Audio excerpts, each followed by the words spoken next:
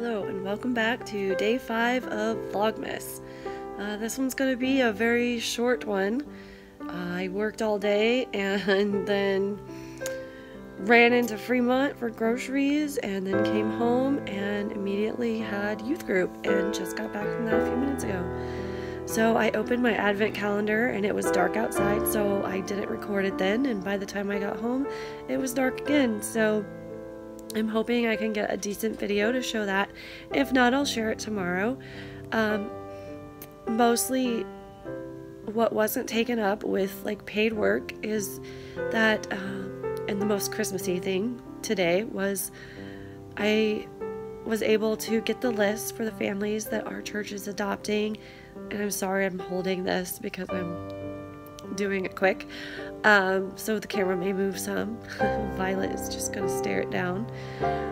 Uh, I got the list, kind of got those fleshed out. So the plan is for tomorrow to spend time making tags for each family and writing specific things on each tag and making a master list and doing all that stuff so that I can hang the tags on the tree for church people to pick up and buy the presents and bring them back wrapped.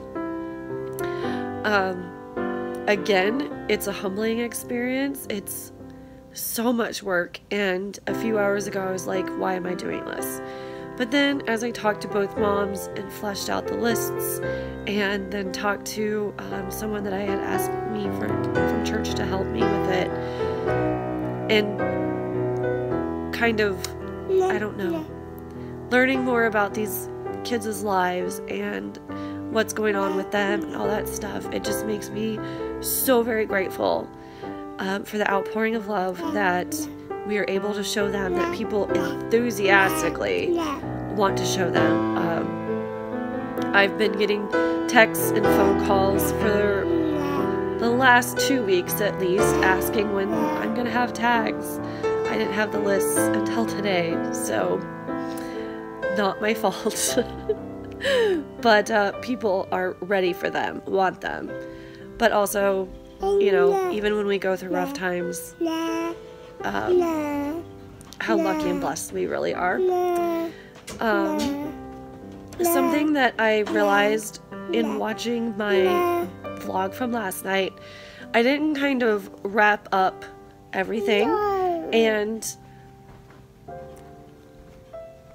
I'm very glad to hear how many people were touched by the story and I think we need those kind of stories. We need to hear that. We need to realize that there's people like that um, and that we can be those people.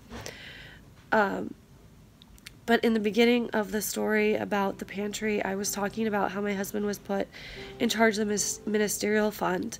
And when he was first put in that, before there was a food pantry, that was super loud, mic.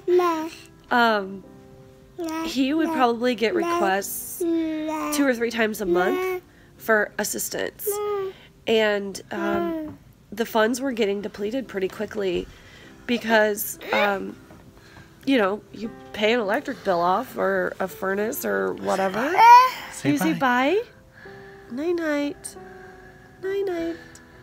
Nope, you're just gonna stare at yourself. I can't believe she sat on me that long with the with it recording and Oh, didn't try to grab bye. it. Bye, honey. I love you. Can you blow kiss? Thank you. Um, and basically, what was happening were uh, people, you know, you want to try to make sure that your kids' bellies are fed, and that's something that happens every single day. They have to have food or whatever. and so those bigger bills were getting pushed off. And so then it was a problem because then all of a sudden your electricity bill is $200 because you haven't paid it for two months because you couldn't pay it because you had to get the food. And so, anyways, he was getting those requests like two or three times a month. Now that we have this food pantry, he gets requests. In the past year, I think there's been four. So he went from the same amount of requests that he would get in probably two months to that's the amount he would get in an entire year. So that was kind of the wrap up of why I was talking about the ministerial fund before, is because it really has made a huge difference because when people can get that help with the food, then they have that money left. Um, instead of scrimping and saving for that, that that need is covered, and so they're better able to um, get their bills covered, which has been an amazing thing, and also means that we're not just like wasting the time and effort. Uh, yeah, so tomorrow I'm gonna have some footage when I'm working on all my tags. I started cutting my strings so I can hang them on the tree and I punched the holes in all the tags, but I haven't really started going for it. Sorry.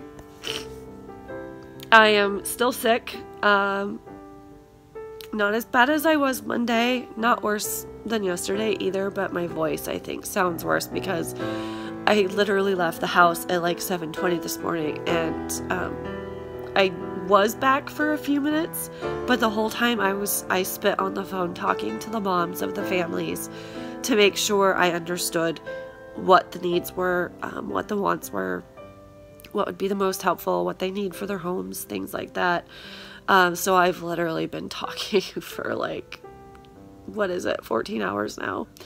Anyways, so again, this is probably going to go up in the morning, and I'm sorry. I'm hoping that tomorrow being at home and being able to do some of this stuff, um, that I'll go back to having a more polished and fun uh, vlog. Uh, unlike other people, I don't make my coffee for you. I don't know if that's a detriment. but uh, my husband makes my coffee, so I'm not going to get up and tape record him making my coffee. Anyways, I'm rambling they would be so thankful not to see that recorded. Excuse my husband and his disgustingness. Um, okay, so Merry December 5th. Uh, I am getting the days wrong now, and um, I will see you tomorrow. Stay warm, my friends. Bye.